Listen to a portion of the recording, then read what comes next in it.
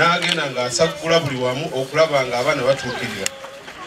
Naye akaseera kano wekituuse nga tetumenyese tusaba gavumenti kuba balina financial maso nene eveeyo byonna byetubadde tulobing okumala essaawa obudde buno bwonna nga fencing ne security n'ebikwata ku teaching aids mu kibiina eveeyo ddala kubanga buvunanyizibwa bwa gavumenti okulabira abantu baayo abantu abalala bano betuwulidde batuyambako buyambi. Batuyambako buyambi naye ngaomulimu omunene gwa gavumenti. Tukubiriza nga bwe muziseera tumutudde mukitwalire ddala salama etuuke ku mutindo. Ate netteeka ebbya eriri mu person with disability etteeka ddungi nnyo nga olaba gavumenti eyagala kubaako ddala kyekolera mu sekiteri nga maliriza tulina ebyawandiikibwa mu njiri masu gye yawandiika essula 25 olunyiro lwana lutugamba nti buli kyetukola eri abo abeetaaga okuyambibwa tuba tekikoledde bo oba naaba betolodde wabula tukikolera mukama waffe yesu kristo. Tekikoma mu bulungi bwokka okuwaayo biki oba tekikoledde oyo?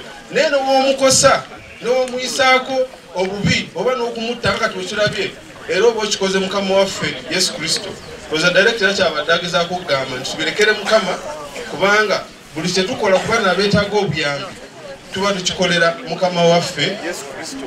Si mu bulungi bwokka wabula ne mu bubi. Mwebale nnyo mwebalire ddala.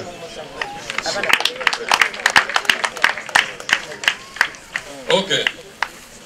So uh, oyo loya waffe um, nayegera pasita mu ngeri ye akolera ddala omulimu gw'amaanyi. So otherwise nze byange uh, bikomyewo bakama bange naye nga i want to recognize my colleagues from uganda national station of the blind stand up for recognition. Those are the leaders who advocate for the rights of the blind in this country. So in case of anything they are the ones who step in to fight uh, for the rights of the blind. I also want to recognize uh, our founding body by law as we speak, National Council of Persons with Disabilities. National Council stand up for recognition, the representative. By law, they are the ones who are in charge of this place. Yeah? Uh, is man, um, any representative from Salamati Estate or Salam, Uganda Tea Corporation? Okay.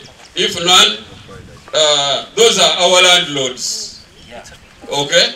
They are our landlords. I'm telling you the, the various areas we fall in.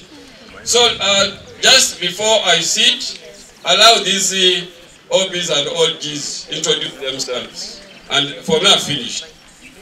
Forgive me what I've said in terms of chikolimo change. Naye.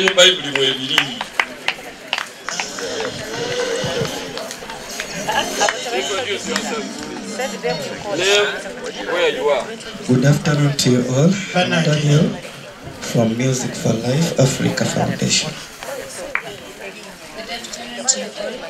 I'm Nakani Peru from Makara University and I work with Music for Life Africa.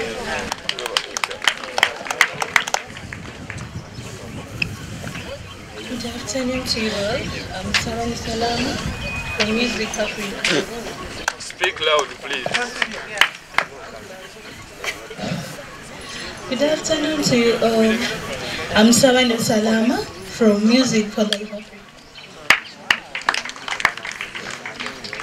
Good afternoon to you all. I'm Naira Salam Jacqueline, Makerere University.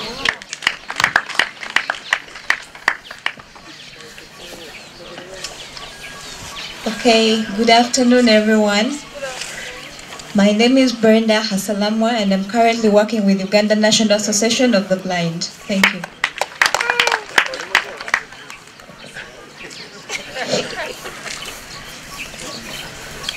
Good afternoon to you all. Um, I'm Kami Timothy, a student of Sapul Kago representative.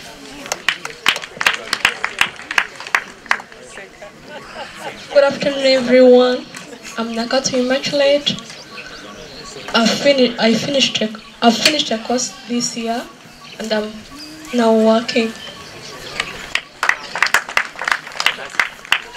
Good afternoon, everyone. I'm Watkunda Joshua and Seka Market. Yes, muje bareko. Yes, Yenze waswa Francis. Eh. Wa wanji wanji. Good afternoon to you all. I'm Lubulwa Sharif, OB of Salama School for the Blind and also a teacher. balamusiza basebo n'abanyabo amanya najjuko sala banaye nga bitalo nange nabibya nene mpulira bubi anko nkusaasidde mukwano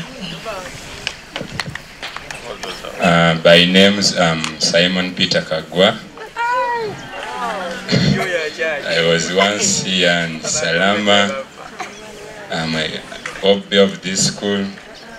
nantwala akakisa kano okukungubagirako bantu- abantu baffe abatuvudde ku maaso mukama abagumye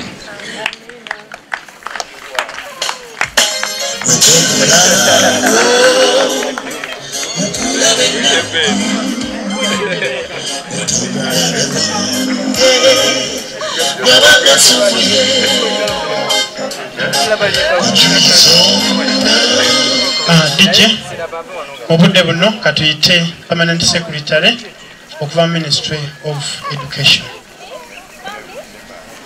Tukwanirizaako nyuma